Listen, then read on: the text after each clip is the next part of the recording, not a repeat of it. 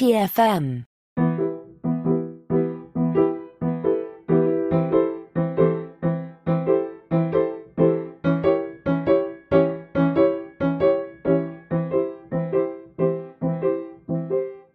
Welcome, stargazers, all you stargazers out there, to another episode of Interphase, our Star Trek Universe podcast. It's been a while since we've done this show, but we are back, and today we're going to be talking about Star Trek Picard.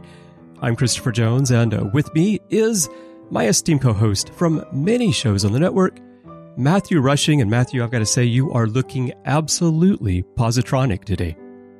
Well, I appreciate that, Chris. You know, uh, I just figured I would just artificially tango my way in here, and uh, it's uh, you know you got to look good when you do the tango. You, you got to be wearing something nice, and uh, so I figured that I would make that happen for this episode. As you know, I'm I'm actually really excited to be diving into um, Star Trek Picard. In fact.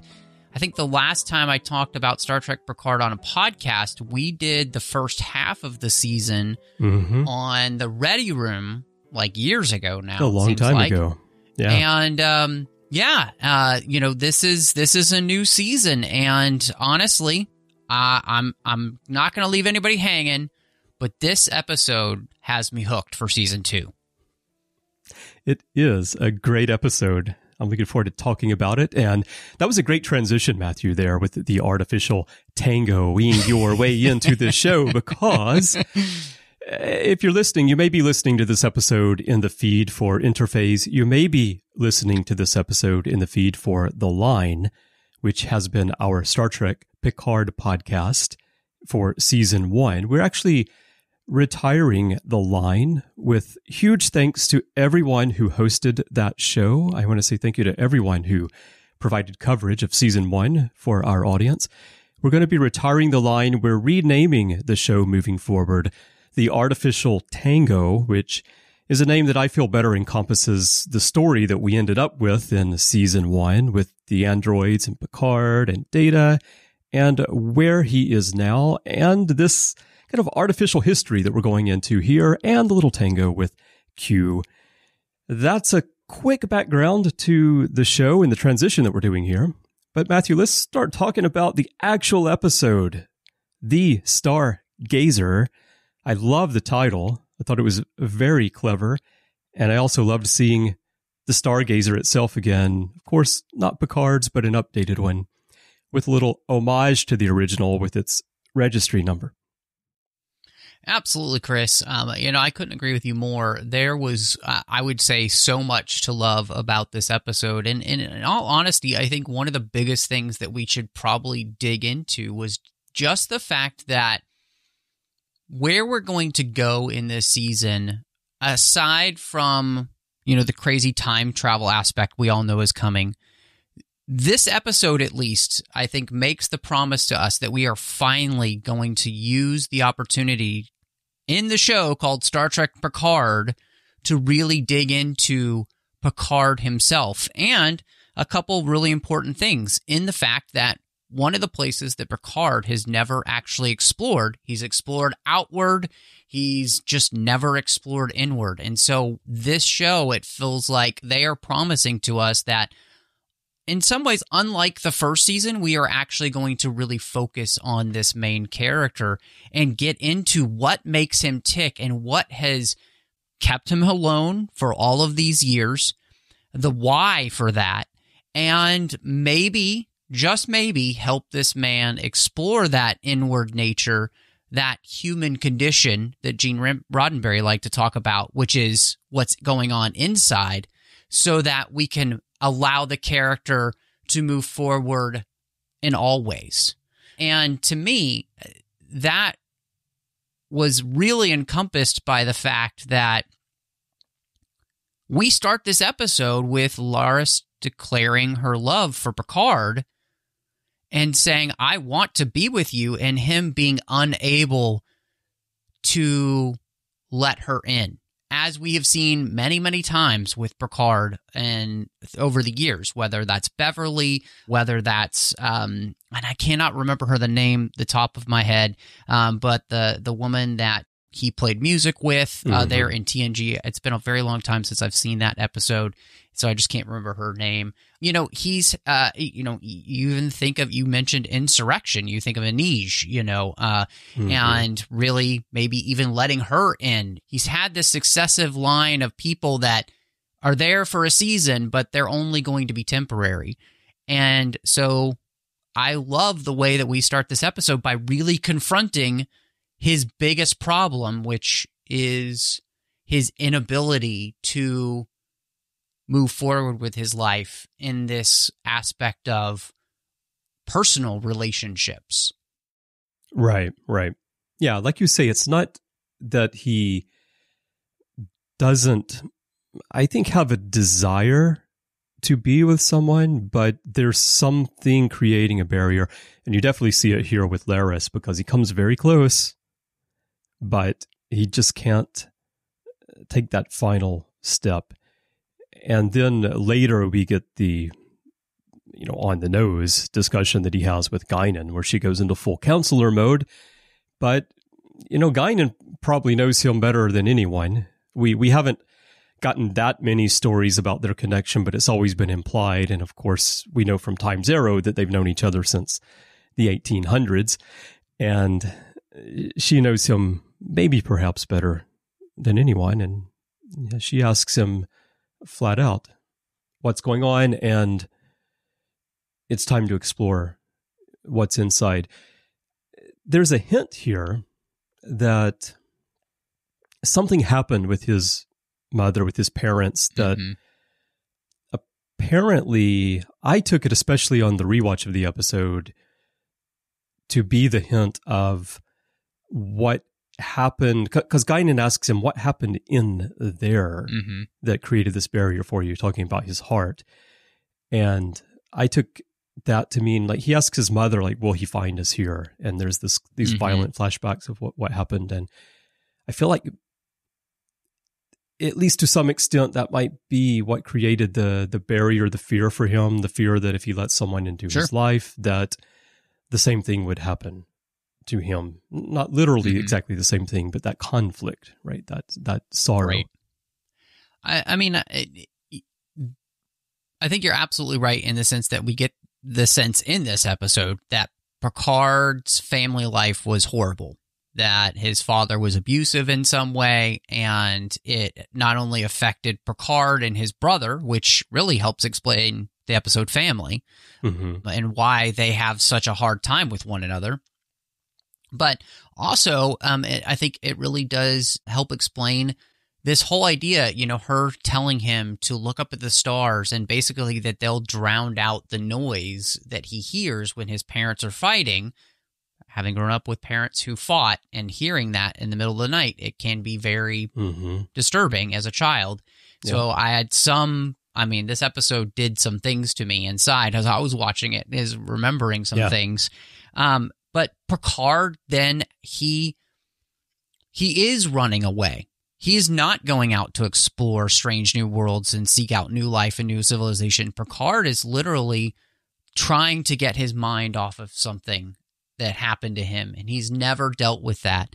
And he has a fear of that inner life in many ways, I think, because and whether it's truly rational or not. It's been there for so long now that is entrenched that he feels that as though he cannot let somebody in mm-hmm. um, because in in many ways he has not been able to let go. And Chris, I I wanted to ask you. Obviously, we're huge Niners.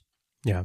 And not San Francisco 49er fans, but well, well you am, are. But yeah, um, but uh, Deep Space Niners, and in many ways, were you struck by the fact that Picard's problem here is that he is stuck in a moment and he can't get out again?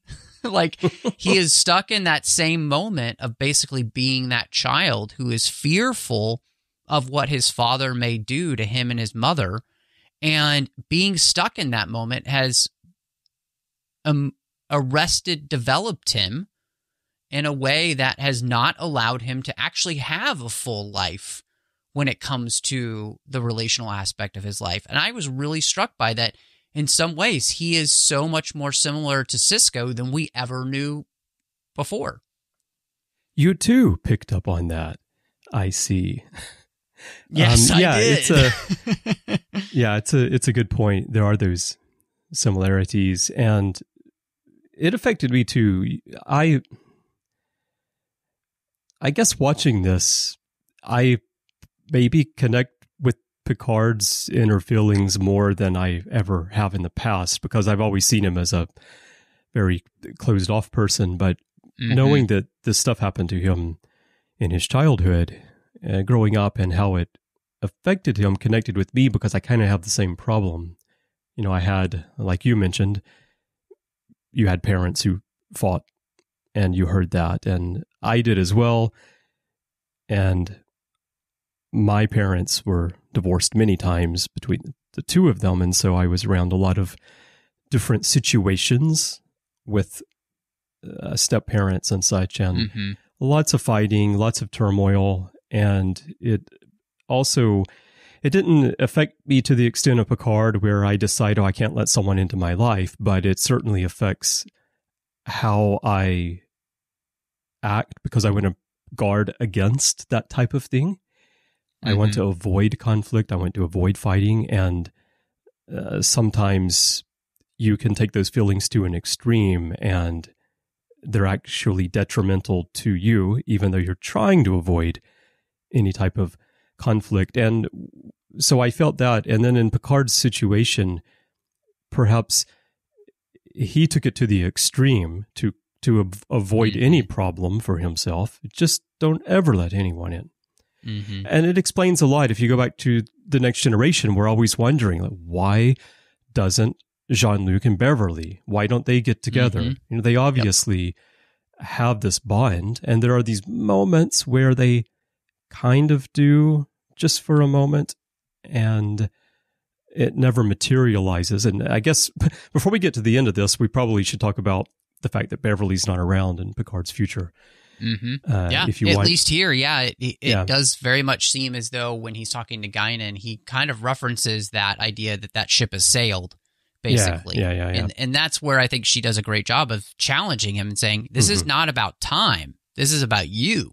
yeah, right. And Yeah. you know the fact that basically you've been drowning out the screams among the stars and never really dealing with the reality of what happened to you, and that inability to dig deep inside and with the help of others like you know uh, this isn't just something you can do for yourself but you know to actually basically he's had Troi who's been a counselor in his life you know like to Mhm. actually deal with these issues because that's exactly what this man needs he needs uh, you know they do a root canal but he needs a heart canal right he needs to dig into his heart and be able to work through these issues and and he has been unwilling to do that. And i think what's fascinating is that this show too in in some in, in a way that it did not do in season 1 but it's doing here is using 7 of 9 is an interesting mirror for Picard because really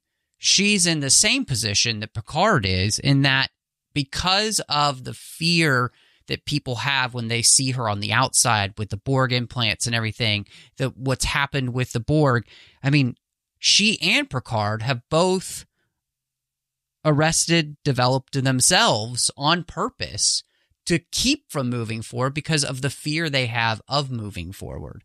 And so I think this is a really season 1 did not really do a a great job I think of of legitimizing why 7 of 9 was Mhm. there. yeah, but I, agree. think this season, even in this first episode, has legitimized why both of these characters are here because they legitimately have the same problem in many ways. And the solution is going to be the hard work of digging in emotionally and and helping themselves become better and the willingness to do so.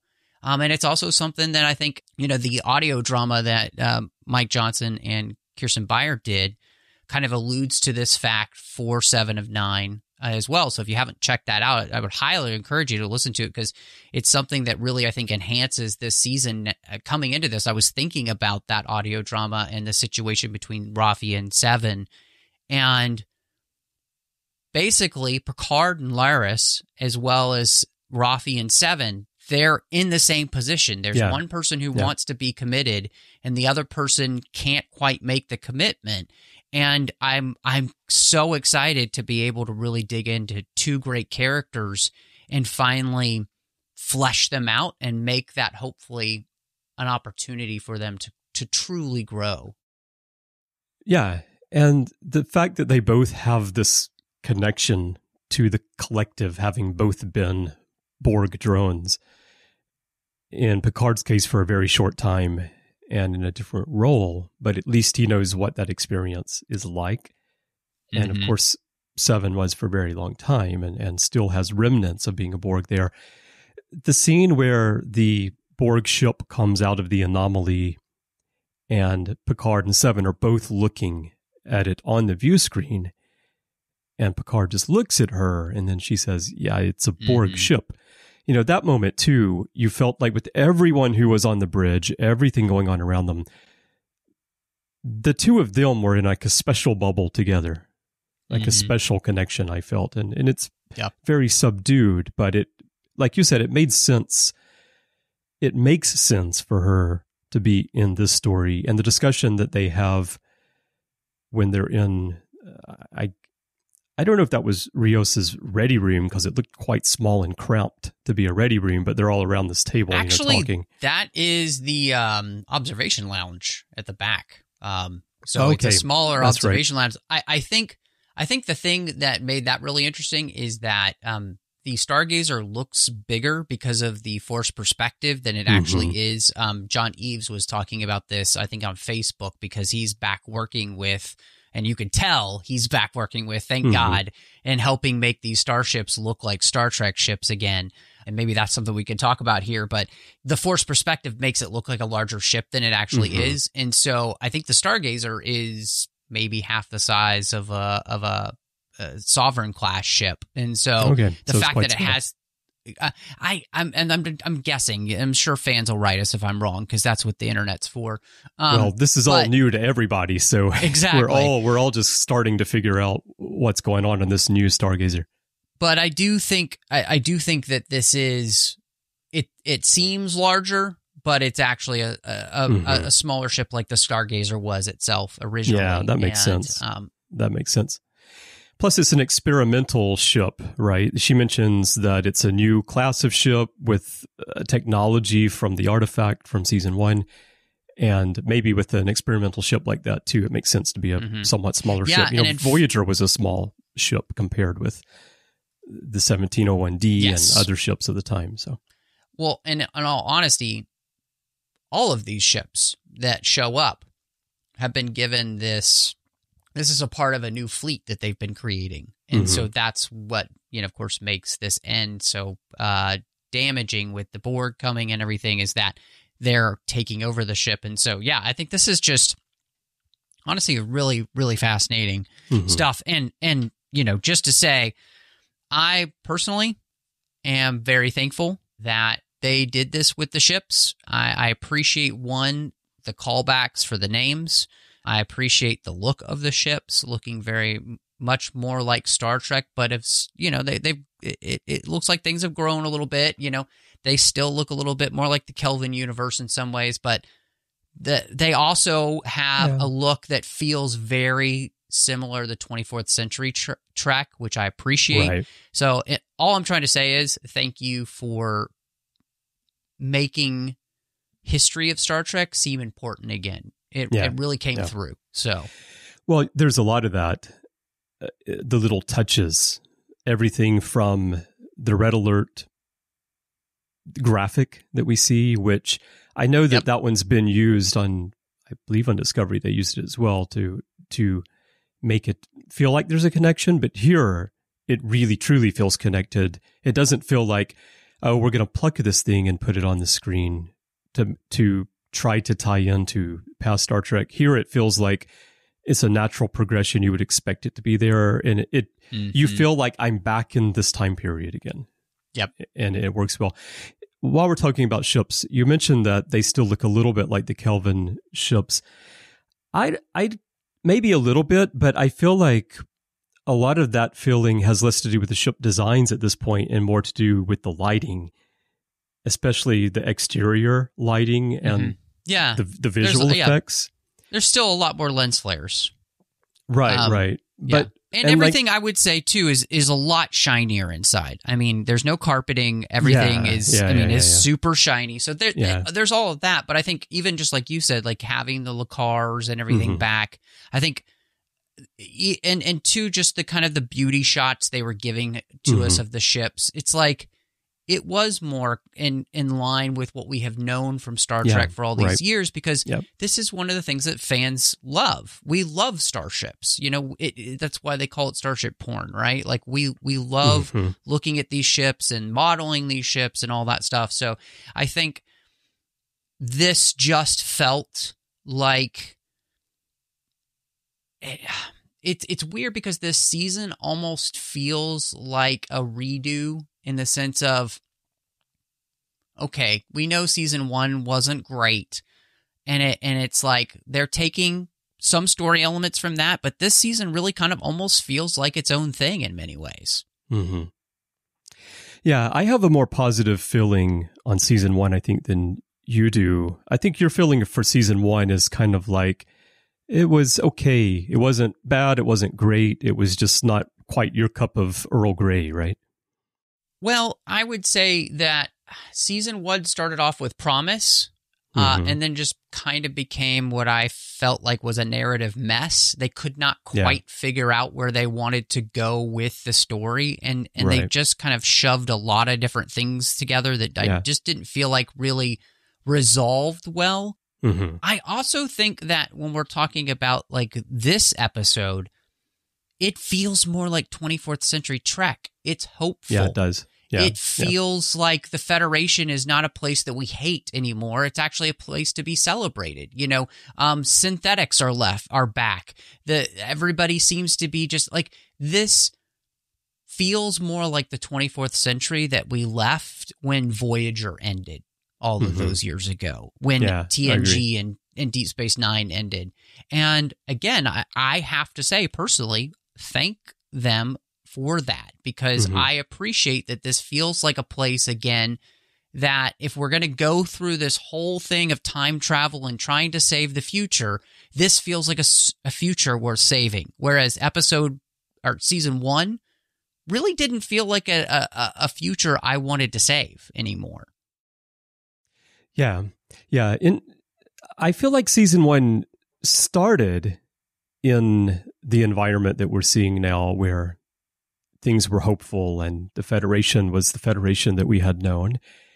But because of the attack on Mars and what happened, then the story that we actually got was was this the the the side point of that though is that you you do have the situation of the Romulan homeworld Mhm. being destroyed and the need to evacuate the Romulans. But but there you're you are seeing naturally you're you're seeing some dissent within Starfleet. You and on Mhm. Earth you do have people asking, well, why would we help the Romulans? They're our enemies. But in Picard, you see that hopeful Star Trek vision of, well, because we're the Federation, because we're Starfleet, we should help. That's our duty.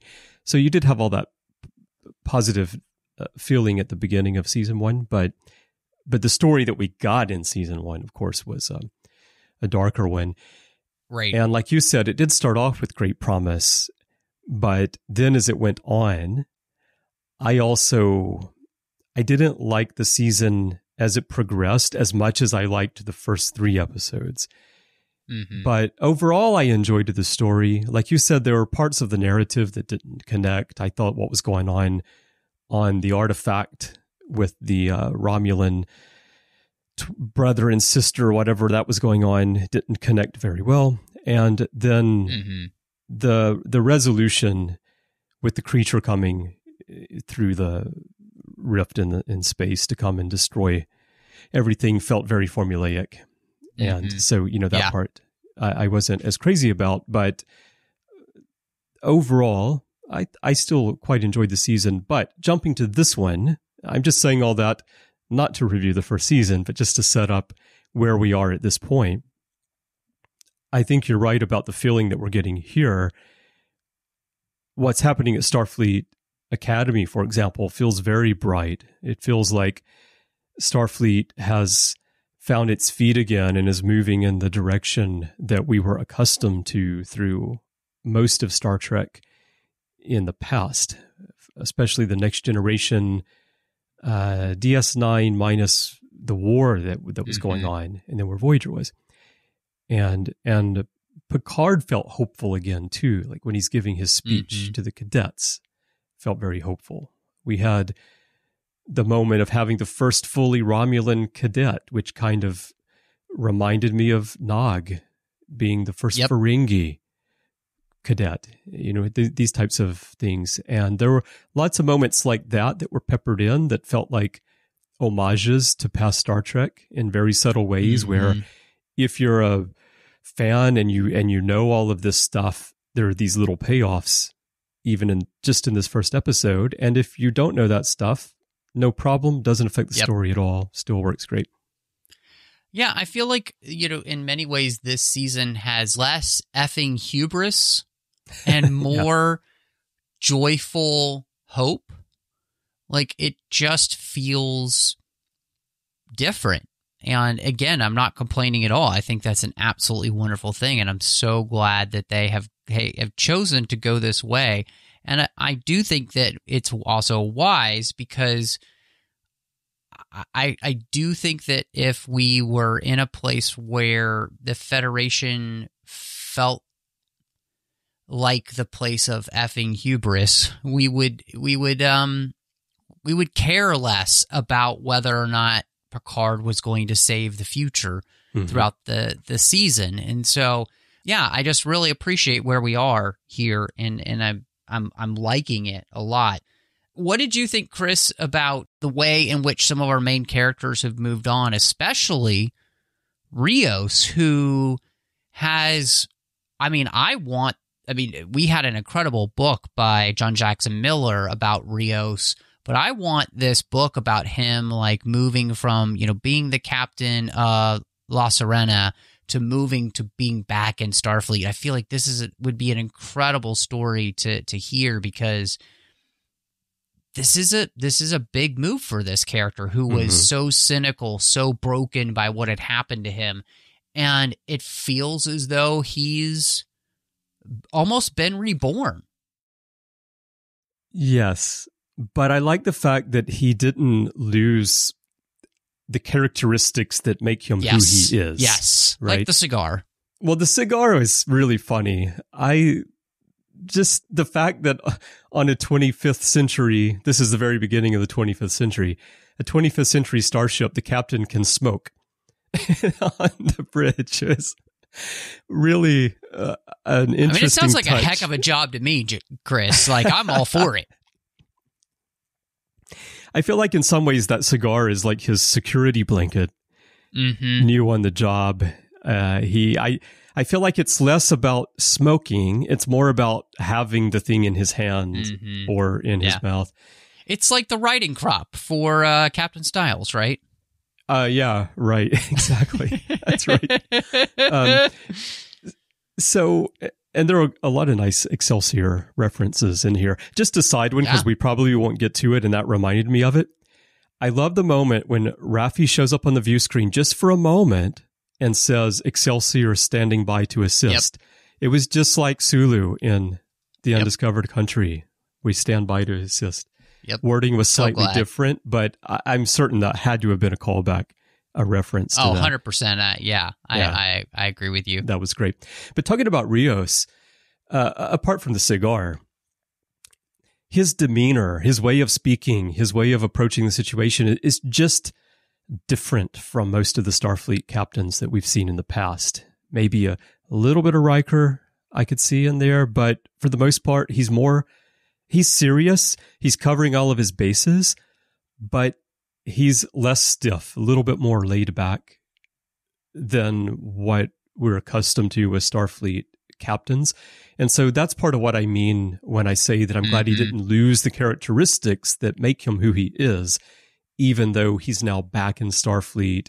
He's a captain and he's leading the charge in this situation. I mean, he is a little bit like Riker in Lower Decks. One, two, three. Next thing you know, he's going to pull out a trombone or something. Um, no, I, I agree with you. I, I think the the beauty there is that you can tell that this man understands what it means to be a captain. yeah, you can tell he's he is, had the experience before yes, in Starfleet. Yes, he's just dusting um, it off. Yeah. Mm-hmm. But he does have, I think, a looseness to him. You know, mm-hmm. like he, um, uh, you can tell he was somebody that you would want. He reminds me a little bit of. It's like if Riker and and Archer had a baby because of the way that like Archer was really kind of loose with his crew. He knew everybody okay, by name. Okay. You know, Rio seems to be that same type of character and type of person who he's very involved with getting to know his crew, treating them all like human beings, you know, um, really caring about them uh, and their lives and all that kind of stuff. And and I think too specifically if we can figure out what the size of the the stargazer is. I mean, if it's a mm-hmm. smaller ship too, it makes sense that you would have a tighter knit crew most likely. Um, it's not as small as the NX-01, of course, but it's no, it's no, not a Galaxy no. class starship either. Right, yeah. right.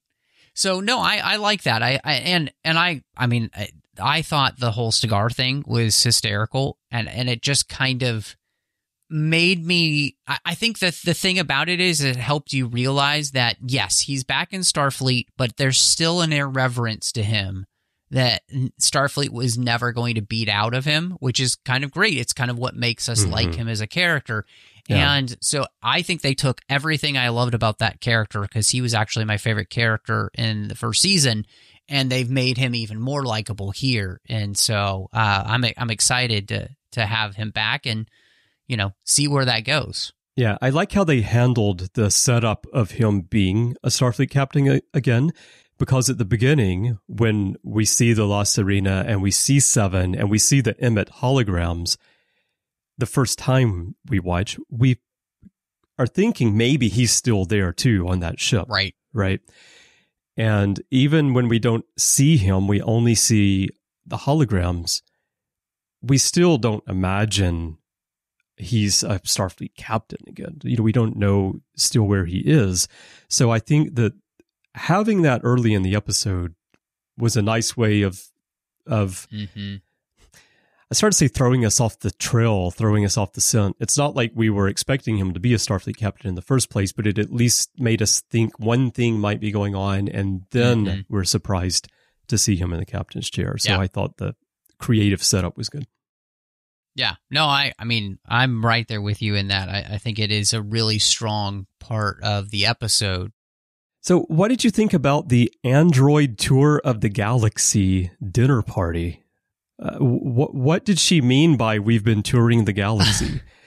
uh, well, um, I thought that was a little bit strange. Um, obviously, what was most interesting is that they were with a group of Deltans uh, mm-hmm. uh, which you know we've only seen one Deltan and spent any time with them, uh, and that's yeah. in the motion picture, really. Right. So, so I thought that was fun. I, I think it's it'll be interesting to see how they tie into this season at all. Mm-hmm.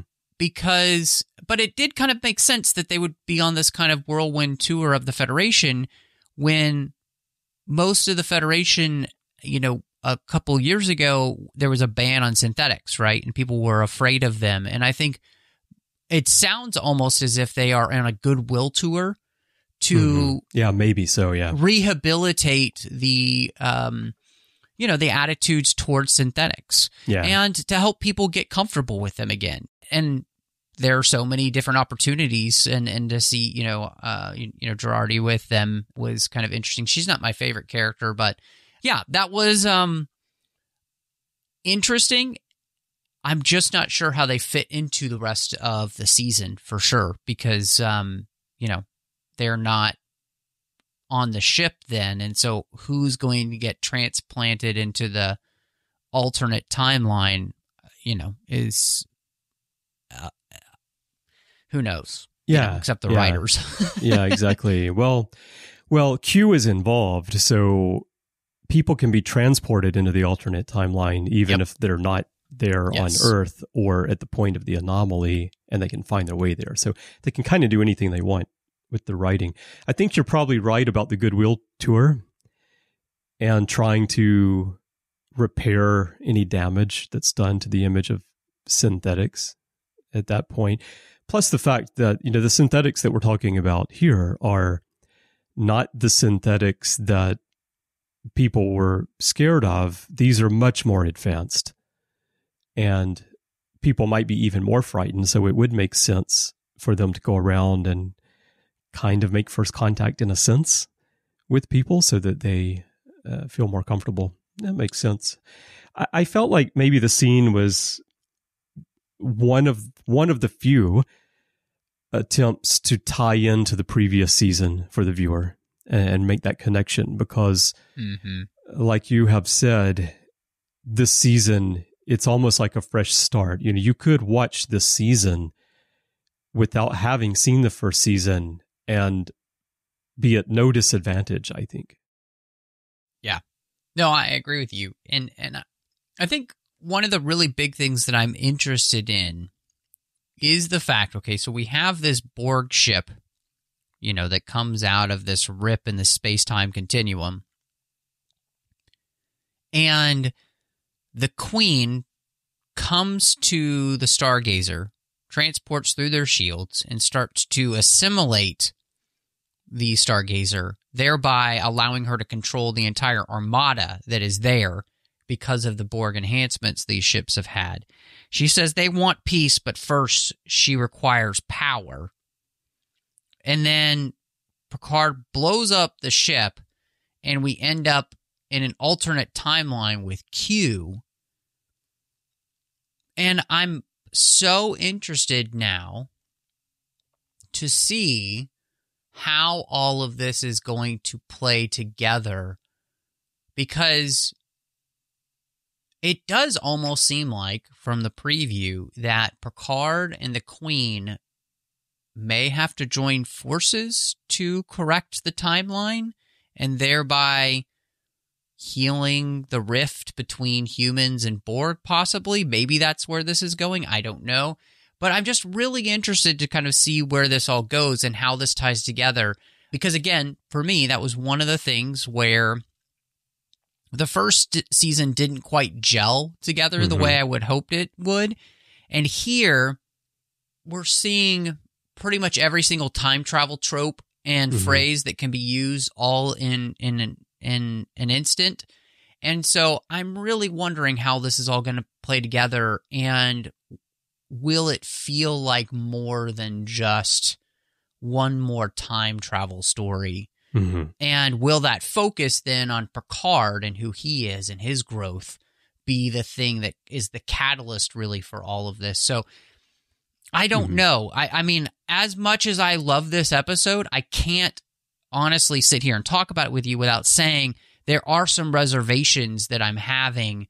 Part of that comes from the history of the most recent Trek shows and part of that just comes from like this was so good i i continually i want it to continue to be good but i'm i'm not i'm not sure whether I've, i should hold my breath yet yeah yeah no i'm with you on that and when the first teaser came out and the poster art came out the key art my initial feeling was ah uh, like it looks interesting but is it going to be another time travel story. We've got to go fix the past. You know, is it going to be like Future's End? Is it going to be like past tense? Is it going to be first contact type situation yet again? Because it kind of feels like all of those put in a blender. It does. It does. And I think you and I maybe talked about this a little bit behind the scenes back then when the first teaser came out. But this episode gives me hope that the story is going to be somewhat different than that because this episode I thought was done so well. But we mm-hmm. talked a mm-hmm. lot here today about the hopeful future and that feeling and Starfleet and how everything is. And that was all wonderful in this episode. But that's not what we're going to be getting for the whole right. season because we're exactly. going back to 2024 Los Angeles. And we don't know yet if we'll be jumping back and forth through time or if we're going to be in 2024 Los Angeles for the entire mm-hmm. story. We don't know these things yet. So we don't know. I will say that at the end of the episode, if I watched it once locally here in Japan on Amazon, and then I rewatched it on Paramount Plus, the US feed. And what was at the end of the Paramount Plus one, which most of our listeners probably watched, that we didn't have on Amazon, is the little teaser for the season, like what's coming up, where we get to see scenes of what's going to be happening. And those scenes, because the Earth is a totalitarian world at that point, or at least the United States is, doesn't look like it's going to be that hopeful vision of the future, but the Right. hopeful aspect of it will be Picard and our heroes trying to restore everything and bring back the hopeful nature. Mm-hmm. So I don't know how it'll play out. yeah. And I don't need it to be like bright and cheery all the way through. But I also hope that it doesn't fall into the apocalyptic, pessimistic trap Mhm. that so much of modern television has fallen into. Yeah, I think that's a really, really good way to put it. And I do think that you've really summarized well kind of what some of my reservations at the moment are, Mhm. just to, from what we have seen. And, you know, I, I mean, it is interesting because, you know, Q shows up and he says that the trial never ends and that this is the very end of the road not taken. And I'm Right. wondering, is that, are we referring to tapestry at that point of the road not taken and that like this is the very end of what that universe would have looked like Mm-hmm. and then i'm like well but why would we have to go back to 2024 for that to be the case. So that i mean it, there's just a lot of questions right now. And honestly you know this will this part of the episode will be moot in 10 weeks or whatever when this uh, season's yeah, done. Right, right, right. but it I, I do think that this episode has done a very good job of kind of rekindling my enjoyment and love for uh, good Star Trek. And I think that at least this episode feels like it really truly honors the spirit of trying to explore the character to whose name this show Mhm. is named after. And so I'm I'm really looking forward to that hopefully being kind of the crux of the season more than the Yeah. time travel crazy. Right. Well, that's going to be the challenge, right? Because I feel like they set everything up in this first episode with Picard and Laris, Picard's flashback to his mother, the conversation he had with Guinan, the conversation he had with Raffi. They set it all up for this to be an exploration of the character. But the visuals, everything that we're seeing about what's coming up, feels like the focus is going to be on saving the Mhm. world. And so we'll see. Now, Star Trek historically has been able to Mhm. balance that. And uh, hopefully they'll be able to do it here. Yeah, no, is there something in that Chris where that in 2024 something happens to which makes the road not taken timeline happen?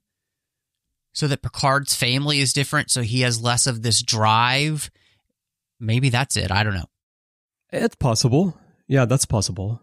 Uh, related to that, I had some thoughts on what you were asking about tapestry, for example. Now, I've seen someone say that, oh, in media, oh, Picard season two is a sequel to Encounter at Farpoint. Because from the trial, and and Q mentions the trial, of course, in this episode at the end when he tells Picard that the trial never ends. But because in Encounter at Farpoint, we know that 21st century Earth is not a great place. That this season of the series is a sequel to Encounter at Farpoint. But you bring up Tapestry, which I think is quite interesting because I didn't think too much about Tapestry in detail about how it would play out, but I actually did have the same thought that you had. And it happened when Picard sees that painting of himself on the wall near the end of the episode, which I'm actually using as my background here as we record today for our video uh, that you and I do together. But Picard in that painting, something about it reminded me of tapestry, whether it's his face or the style of the uniform, the throwback. I don't know. I Mhm. I'm not sure it's meant to, but it just popped in my head. And I think you have a really good point that if Picard had lived the alternate life that we saw in Tapestry, many things could have gone wrong for the Federation without him there to lead them. Now, of course, you Yeah. could say, well, someone else would have stepped up, someone else would have been the great leader. And that may be true, but if there's something unique about each of us, if there's something special about each of us, as so many people would hope to believe, then no one else would have done exactly the things that Picard did Mhm. in key moments Yes. that allowed the Federation to survive some of the threats that we have Mhm. seen play out. So that's a good point. You know, it very well could tie into Tapestry. Again, that that road not taken was the whole point of Tapestry and what Q was trying to teach Picard. So maybe it could also refer to the road not taken by humanity as a whole. Yeah, absolutely. The which is Absolutely. which is I think the most likely thing is that it refers to that and it refers to Picard in some way. It refers to both. I think it's not one or the other. As far as going back to 2024 specifically, I think that's probably just a reference to the world that we're living in today because you know totalitarian tendencies are active all around the world including in the United States and it's that science fiction cautionary tale of here's what could happen to the world and setting Sure. it very close to where we are right now is a way of kind of hammering that point home. Mhm. Yeah. I, I don't think it's a direct commentary on things that have happened the past few years, but I think that in a science fiction sense, in a broader sense of it being a warning, it is the Mhm. reason for 2024 specifically. Right. But Picard has the line that Q went back and turned our world into a totalitarian Mhm. regime, right? So this Right. is another one of those Q tests, like creating the anomaly, although technically Picard created the anomaly in all good things, but Q allowed it to Mhm. happen to change the past, to create a challenge for Picard. And so I think here Q did something to allow society to take a totalitarian path instead of the one that leads to the Mhm. Federation. Yeah. And that's another test for Picard.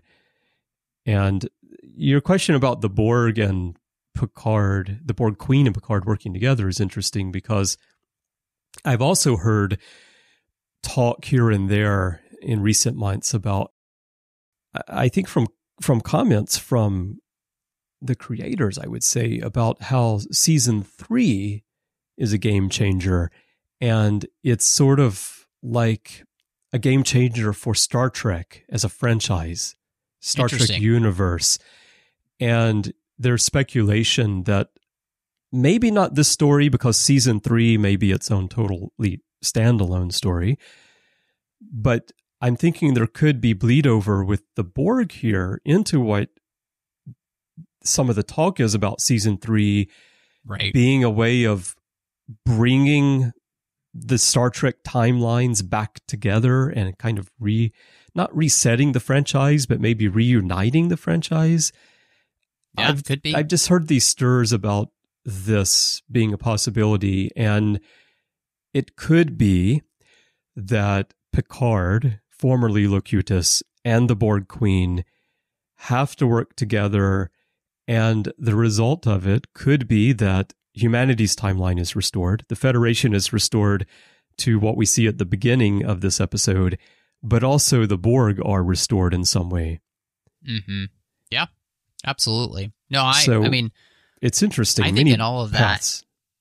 that it could absolutely be what they do, and I do, I do think, Chris, that we could probably both agree that it will be a travesty if Picard and Laris are not together by the end of the season. Right. Now, do you think that there will be an episode this season. This one is called The Stargazer, a play on something from the past. Do you think there will be an episode this season called We'll Always Have Laris? I hope so. If if that's not the case, then they have not done their job. Right. if not, you need to get Kirsten on the horn and ask her what happened. Exactly. exactly. It was right there. It was so easy. It was right in front of you. But yeah, I, I'm sure this is not the last we've seen of Laris. I just can't believe that all she would have is this little moment at the beginning of this episode. Uh, I think actually that that that tension, that pull of a potential relationship there between them is somehow going to be a key part of Picard hmm exploring the inner workings of himself and and uh, the resolution to at least the personal aspect of the story. Absolutely. Well, and I think that it's interesting to, you know, many fans like myself, obviously, I, I'm a huge fan of Beverly Crusher as a character. And to give us a character to which, you know, fans could root for Picard ending up with in the season, uh, I think is really, really interesting. And um, I I like that because I, I also again if this is about the promise of Picard moving on in a way in his life that he's never been able to do before, and so again, kind of putting that promise out there, I think is something that it's basically Chekhov's gun, right? But this is Picard's relationship, and we we need that I think to pay off in the end. Right. And him ending up with a Romulan is a great payoff for the character going all the way back into Yep. the next generation because of all humans, of all Starfleet officers, he was one of the most receptive to trying to make things work Mhm. with the Romulans, trying to yes. have a good relationship with the Romulans. And then, of course, in season one, he led the evacuation of Yep. the Romulans, and or he did prior to that, and it would be a great payoff. It would make a lot of sense. Excellent point. Were one quick point as we get ready to wrap up here soon. Were you surprised that there was really only one reference to the fact that Picard is a synthetic life form at this point? That he is an android now? I'm wondering if, if if that was because this is something to which not everybody is aware of. You know Yeah, that I- Picard. This is this. You know, I mean, it's a kind of a personal thing, and so there are a few people who were there and they know what happened, and Yeah. the rest of the world uh, or the universe just thinks of Picard as being Picard. Yeah, that's a good point. Yeah. Uh, When you first said that, I thought you were speaking of the viewers, people who didn't see season one, and so they don't know. But actually, yeah, you mean people in universe. Yes, yes, I, I, I guess I kind of assumed that because he's Admiral Jean Luc Picard, that it would have been huge news and everybody would know what happened. But actually, you're probably right. It's a personal thing. And so probably some people know, but it's private information and most people just see Mhm. him as the same Picard. Yeah, yeah exactly. Yeah, you're probably right. Yeah.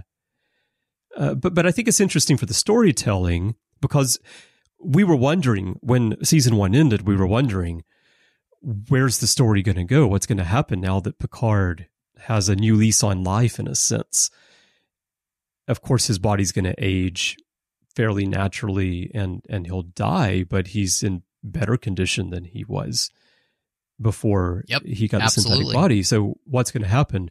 And it seems that the answer is probably not much. It's just a side note that he's artificial at this point, Mhm. and it's not going to be a real part of the story.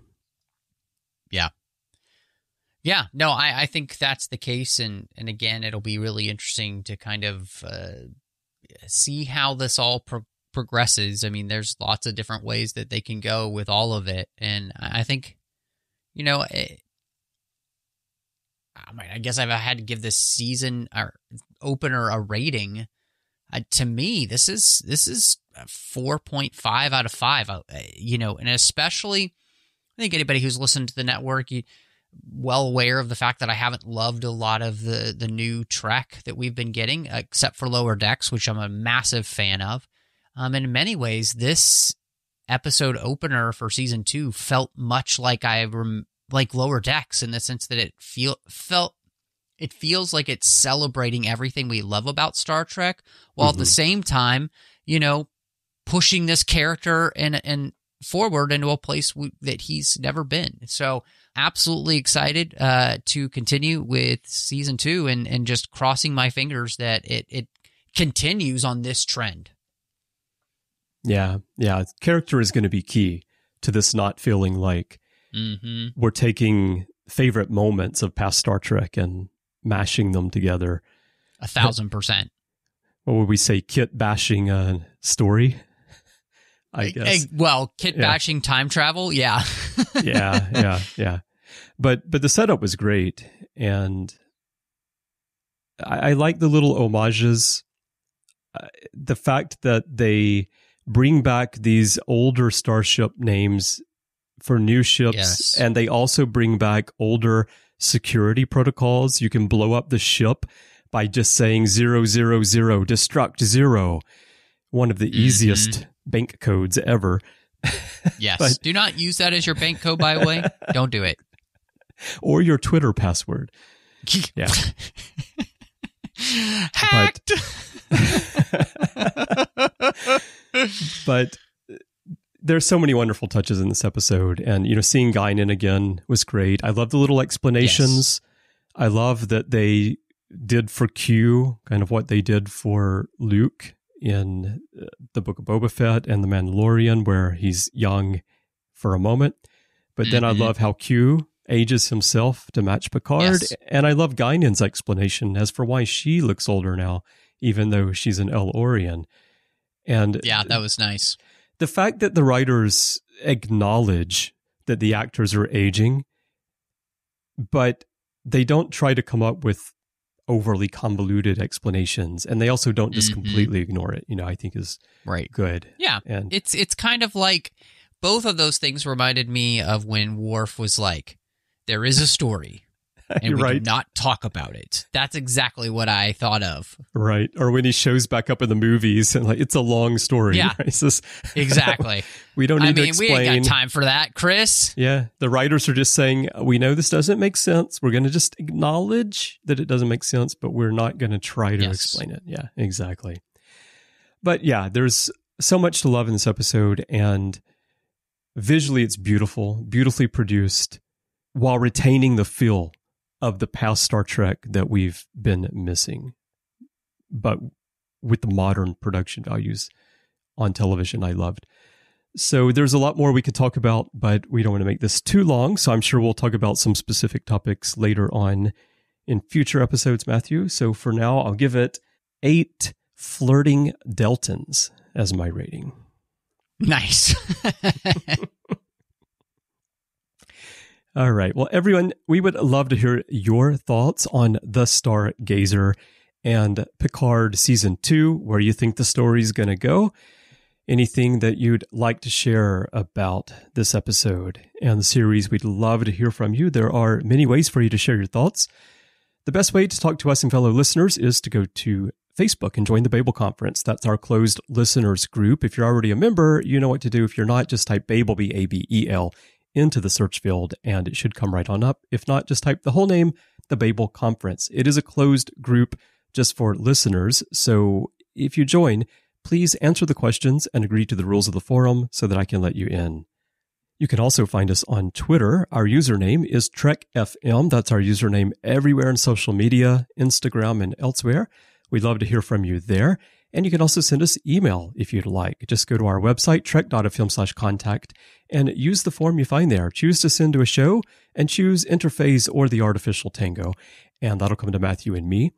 And we'd love to hear your thoughts. And again, if your podcast app of choice allows you to leave ratings and reviews, we'd love to get those from you as well. Now, Matthew, when you're not getting ready for your own tour of the Federation, you know, just to make sure that everybody is positronically positive about you, where can people find you? Well, Chris, when that's not happening, uh, of course, you can find me all over social media, which still exists here in the 21st century uh, under Matt Rushing02, Instagram, Letterboxd, Twitter, Vero, all of those places. Uh, you can also find me here on the network. Uh, we've got a whole other side of the network called the 602 Club where we talk about all of those fandoms outside of Star Trek. Uh, so check that out. There's some bonus shows in there as well, which John Mills and I have been doing. So I hope you'll really enjoy all of that. And then Chris, we are doing the Orb as well as Literary Treks and Warp 5 here on the network. So the Orb's about Star Trek Deep Space Nine, as we mentioned. We're big Niners. So if you want to hear our conversations about Sisko, you can go there. Uh, Literary Treks is about the books and the comics of Star Trek. And Warp 5, we've been celebrating 20 years of Enterprise by walking through every single episode. So you can check all of those out. And then on the Nerd Party, I have a couple of shows. One is a completed show I did with Drea Kaufman and that is called Owl Post. We talked about every single chapter of the Harry Potter series, one chapter at a time, and then last but not least, doing aggressive negotiations with John Mills as we talk about Star Wars each and every week. But Chris, if people, you know, maybe they want to catch up with you and just see how life is going there on the La Sirena as you try and deal with just the one hologram now, where can they find you? Yeah, I put Emmet to work. He's doing my editing for me, my writing. He's doing design work for me now. He's quite busy, so I have plenty of time to talk. If you'd like to hit me up on Twitter, my username is C Bryan Jones, letter C, and Bryan with a Y. That's my username everywhere in social media, but Twitter is where I'm most active. And then you mentioned elsewhere on the network, you and I are talking Enterprise 20th anniversary on Warp 5 with our rewatch talking Deep Space Nine with you on the Orb. Larry Nemecek and I do the Ready Room from time to time, and I drop by Literary Treks now and then, and you can find me in many, many episodes of many shows in the back catalog. And I'd love to hear your thoughts on all the things we've discussed Star Trek, whatever you want to talk about. So, again, you can find me everywhere as C. Bryan Jones. Now, if you would like to help us keep this show and all the other shows we've mentioned and the network as a whole going, we could definitely use your help through Patreon. We are working on building an assortment of new things for the network, and we really do need your support to keep everything going and moving forward. So if you'd like to find out how to help, please visit patreon.com slash trekfm. That's P-A-T-R-E-O-N dot com slash trekfm to find out how. And I want to send a huge thank you to everyone who's helping us now we could not do this and could not keep this going without you. So thank you so very, very much. Well, Matthew, this was exciting. We get to talk about something that we don't normally talk about together a new show, Star Trek Picard. And I am ready to head down to Los Angeles 2024, find out what's going on. So I'm looking forward to doing that with you next time. Chris, make it so.